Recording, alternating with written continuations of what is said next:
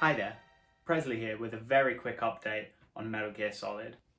Last week there were rumours on 4chan of a leaked Metal Gear Solid project. The Metal Gear Solid project in question was a full Metal Gear Solid collection for the PS5. This collection is expected to include all of the mainline entries. However, this leak comes from a very unlikely source on 4chan, so I would take it with a pinch of salt. However, there is something a bit more interesting going on on the Metal Gear Solid front. Recently, a mysterious Twitter profile has been created. This Twitter profile was created for someone called Tom Olsen. Now, nothing unusual there.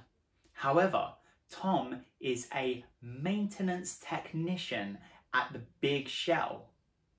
The Big Shell, of course, being the main location for Metal Gear Solid 2. Tom Olsen has been posting various in-character tweets, as you can see on screen right now. Now, of course, this could just be a troll. However, the most interesting thing is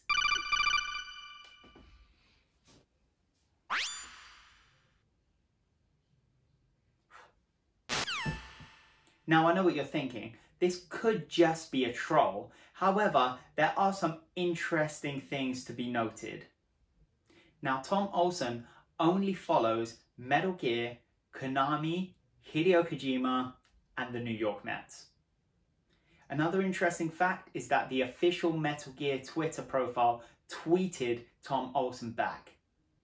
You can see that tweet on screen right now, something about visitors coming next week. Is Tom Olsen a hoax? Is this all just a game? Is Tom Olsen a troll and the official Metal Gear are just playing along? Let me know what you think in the comments section. Who is Tom Olsen? All that's left for me to say is take care, and I guess we'll find out next week.